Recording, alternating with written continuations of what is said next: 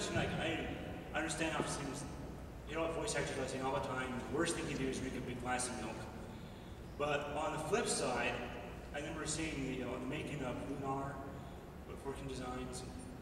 They gave me the anime cutscenes, and one of the uh, villains he's copying is hacking, and for effect, the actor purposely did drink a bunch of milk. Is there ever times you do stuff like that? Yeah. Oh, sure. Such as?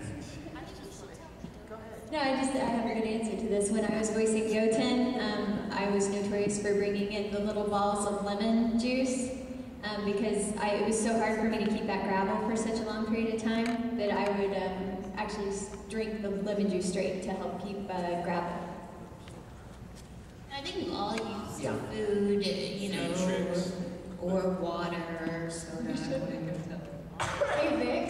Hey Vic, Yeah. Wendy doesn't know the donut story. Oh, Lord have mercy. But you're telling it for Wendy. You love Wendy.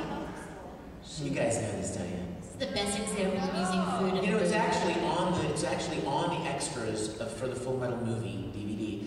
Um, there was an episode where Ed got punched in the face and and his mouth swelled up, his cheek swelled up, and so wanting to make it, wanting to approximate that sound of that swelling, I asked Colleen, who was directing that episode, if I could run and see if I could find something in the vending machine to use to put stuff in there. And so I went and, and found what I thought would, would be perfect.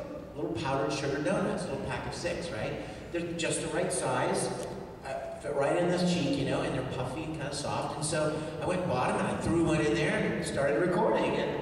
And uh, what you guys may or may not know is as soon as you do a line, stand there and you wait while the engineer's moving the line around making sure it fits and the, ma- the mouth flaps. Well, another thing, usually people when they eat donuts, they actually chew them and eat them. They don't actually keep them stored like a squirrel in their cheek.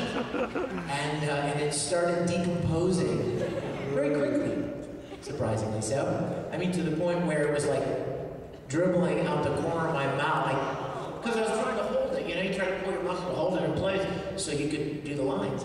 And it got to be so gross. And I just turned around and spit it out in, in a empty cup. But Ed was that way for quite a while.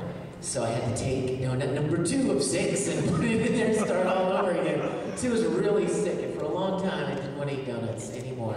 Because once you start that decision, you can't go back. Oh yeah, exactly. And uh, you know, when you do it, you don't even think about how long you're gonna have to do it or what's, what the repercussions are gonna be. You're just like, this is a great idea.